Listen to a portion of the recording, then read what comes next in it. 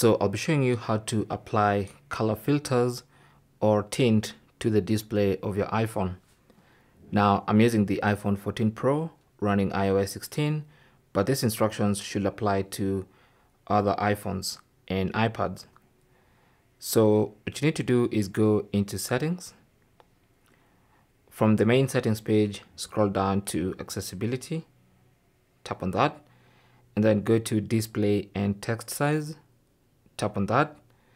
And then under that you should find the option for color filters. So tap on that and then enable color filters. Once you do that you have more options that appear. The default one is this grayscale option which is enabled. So you can choose red slash green filter. And you can see the changes here as you select okay you can see what the different colors will look like. First of all you can see them with the filters turned off. So you can see what red will look like.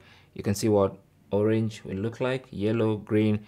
You can see what all these colors will look like on the phone once the filter is enabled. So grayscale that's what everything's gonna look like.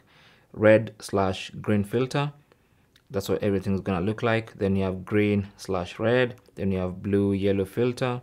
And then you have a color tint which basically just tints the whole screen. And then no matter what filter you're on or color tint you have the option to adjust the intensity and hue okay? So you have all these option uh, options at your disposal.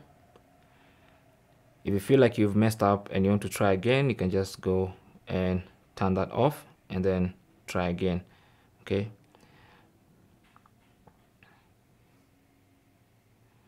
That's basically how to apply color filters or tint to the display of your iPhone. Thanks for watching.